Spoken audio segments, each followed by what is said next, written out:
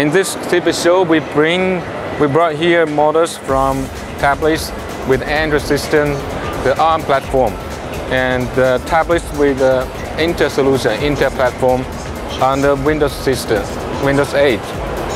This one is Intel platform with Windows 8 system, multi-touch capacitive screen.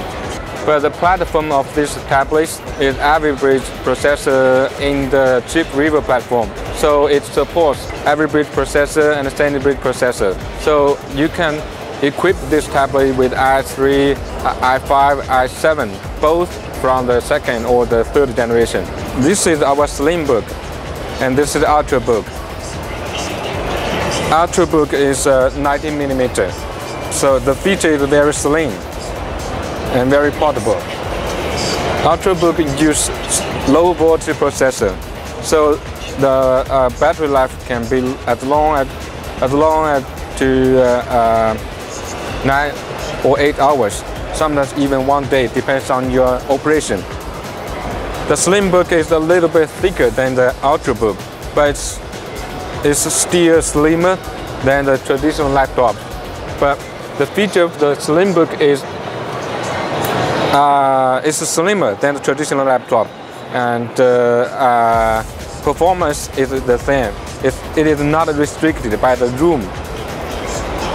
So uh, the performance can be much better than the Ultrabook because the processor is standard voltage.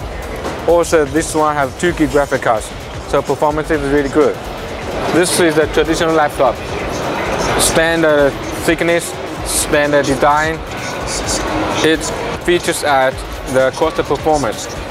When we are in some uh, international projects and tenders, we use this kind of uh, products to compete, to reach, uh, to reach the best uh, performance cost rates. Here is the larger size laptops, and this one is 17.3 inch. It is the so-called gamers with really high processor, high-end processor and uh, VGA cards.